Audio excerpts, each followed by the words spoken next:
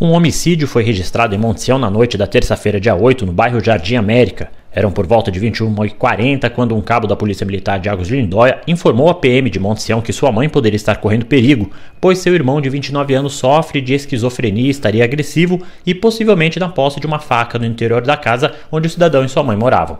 Os policiais militares de Monte rapidamente se dirigiram ao endereço juntamente com o solicitante.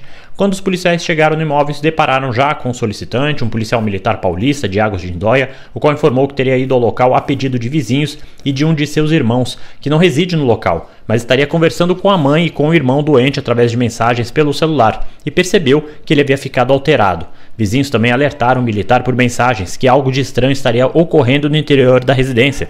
Os militares de Monte realizaram uma aproximação tática e um dos policiais conseguiu conversar com o rapaz através de uma janela, enquanto outros dois policiais entraram pelos fundos do imóvel que estava com a porta aberta. O cidadão estava em seu quarto e foi imobilizado, evitando assim qualquer reação que colocasse em risco a sua vida e a de terceiros. O rapaz, segundo as informações apuradas no local, aparentava estar tranquilo e dizia que alguém teria entrado na casa e matado a sua mãe.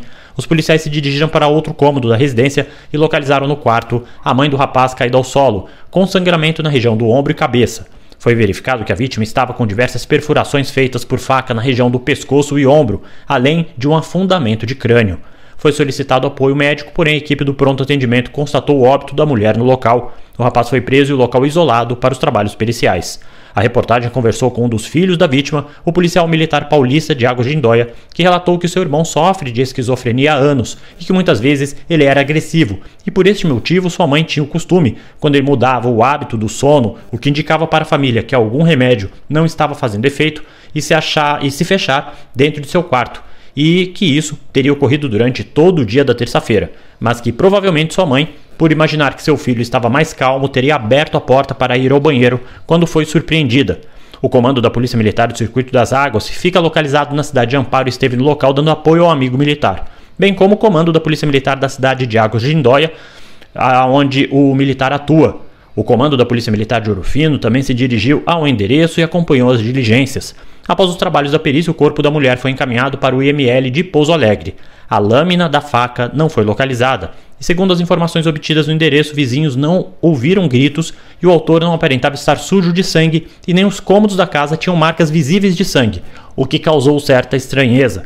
O cidadão foi encaminhado para receber medicação no pronto atendimento e depois o registro policial foi encaminhado para o plantão policial em Pouso Alegre. A ocorrência foi registrada como homicídio, uma vez que o cidadão sofre de problemas psiquiátricos e não se enquadraria em feminicídio. Agora, dependerá da interpretação do delegado e das autoridades judiciárias. Da redação do portal Tuno Giro, Beto Coque, para a difusora Ouro Fino.